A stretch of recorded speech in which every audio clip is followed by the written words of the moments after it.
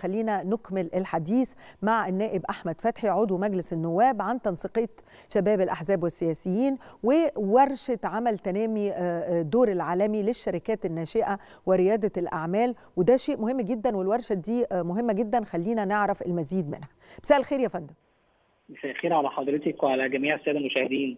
الحقيقة أنا معجبة جدا بالورشة دي واللي هي فكرة يعني يعني فكرة جيل زد يعني أو إن إحنا بنفكر ل 20 30 و20 35 وما بعد جائحة كورونا. كلمنا عنها. إحنا كنا في تنسيق شباب الأحزاب والسياسيين قعدنا الفترة اللي فاتت الأسبوعين اللي فاتوا قبل إطلاق المنتدى النهارده على أساس إن إحنا نبتدي نختار الشباب اللي يقدر يشارك في المؤتمر ويبتدي يشارك في ورش العمل. فاحنا كنا متفقين مع احدى الشركات اللي شغالة على اكتشاف المواهب. آه أنت بتكلمنا عن ريادة الأعمال مظبوط؟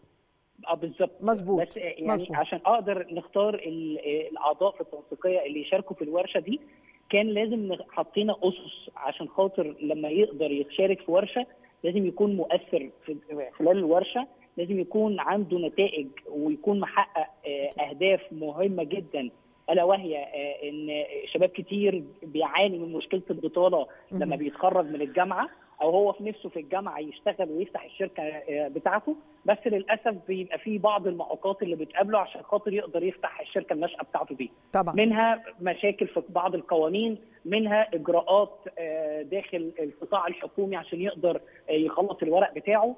فالنهاردة لما قعدنا في خلال الأسبوعين اللي فات مع كورش عمل التنسيقية قبل المؤتمر كنا مهتمين جدا إن إحنا نطلع بتوصيات معينة إن التوصيات دي يتاخد بيها من مسؤولي منتدى شباب العالم. ولما جينا قعدنا النهارده في ورشة العمل ابتدينا نسمع الدول المختلفة هم وصلوا لإيه في فكر ريادة الأعمال. وإحنا عندنا ما شاء الله في مصر يعني نماذج مشرفة قدروا يفتحوا الشركات بتاعتهم وقدروا يوصلوا للعالمية ويفتحوا ودي حقيقة أستاذ أحمد أنت بتكلمني عن فكرة startup companies اللي هي ال ال الشركات اللي هي بتبدأ يعني خلينا نعرف الناس ببساطة اللي هي لسه بتبدأ من الصفر شباب بيعملوا الأفكار من الأول وده فكر موجود في العالم.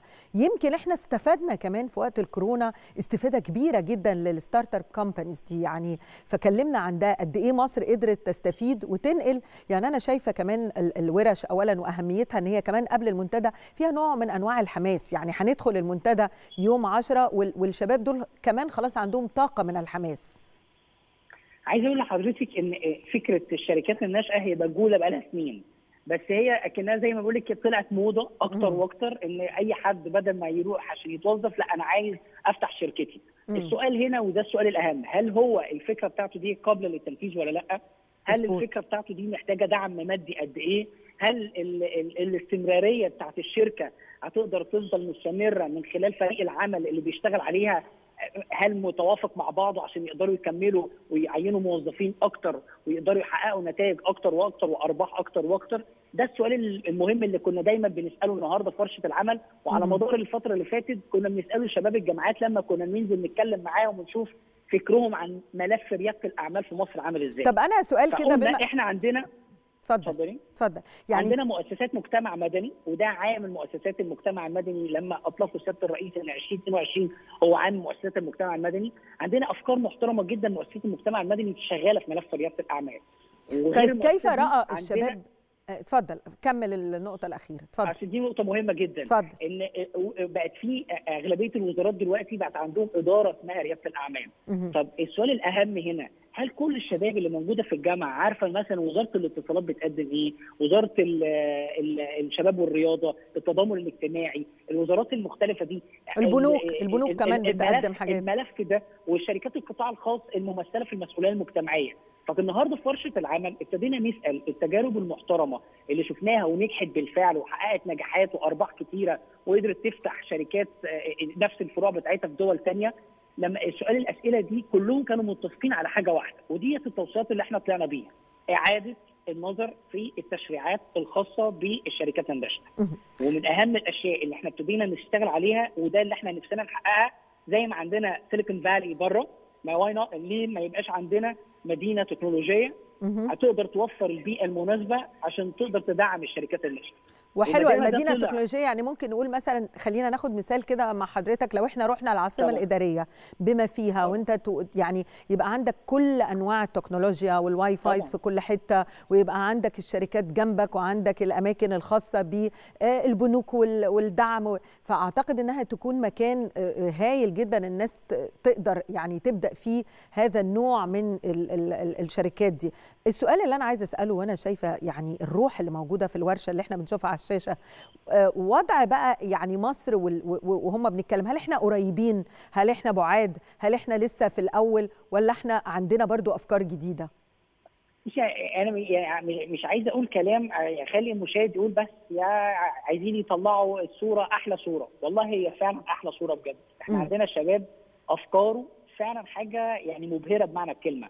وشباب صغير في السن عنده أفكار محترمة جدا. هم ينقصهم حاجة واحدة فقط غير ان يعني يلاقوا ان في حد واقف في ظهر الشباب في افكارهم فده اللي الدولة عايزة تعمله في الفترة الحالية.